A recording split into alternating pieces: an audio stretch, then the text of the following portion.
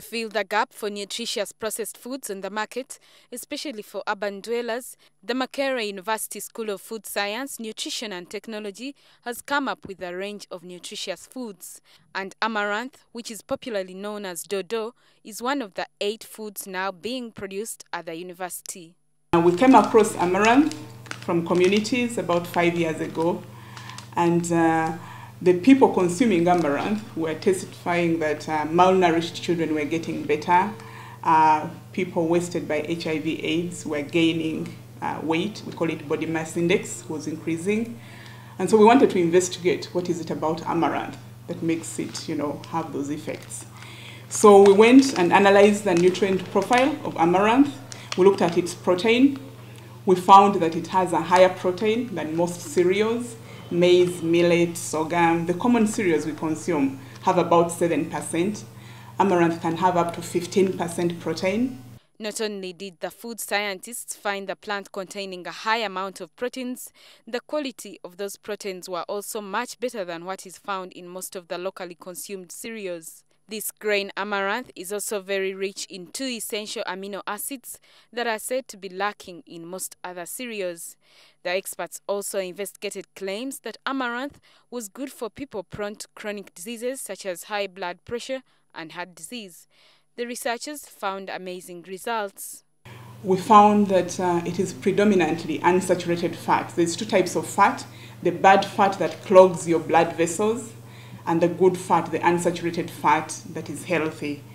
Amaranth has close to 50% of the healthy fat. So that explains why it would be helpful for people with high blood pressure and conditions like that, like heart disease. Besides, amaranth is rich in micronutrients, basically vitamins and minerals necessary for the proper functioning of the body. This variety of amaranth is said to grow very well in parts of eastern Uganda, northern Uganda, and in Nakasongola district.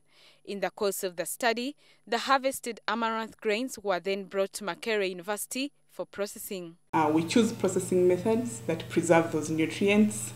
Uh, in some cases, for instance, if you take beans, yeah, beans are potentially very nutritious, but they have a lot of anti-nutrients which uh, prevent the body from utilizing the nutrients that are present. So when we process beans, uh, we reduce the anti-nutrients, you know, that bind the nutrients and prevent them from being used. And uh, so then we make the product more nutritious. We can enhance the nutrients by adding, for instance, in this one we add, added uh, vitamins and minerals. The result has been a variety of products, including cookies, amaranth flours, and amaranth based beans. Unlike most processed foods that are very high in sugar, fat, and salt, all these products are natural with no added preservatives. You read the label and see what is contained in that product, both in terms of ingredients, because uh, the ingredient list should tell you exactly what is inside the product. Yeah, and then there should be a nutrient composition table that you can look at and see the levels of the different nutrients. Amaranth food products are recommended for all age groups, including children.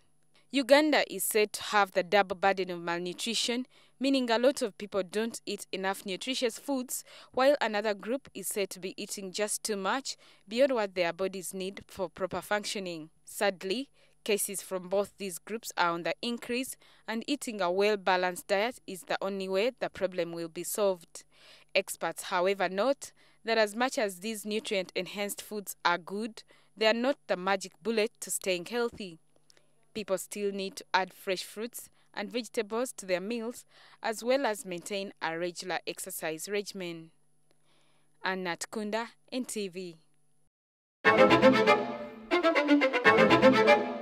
Thank you.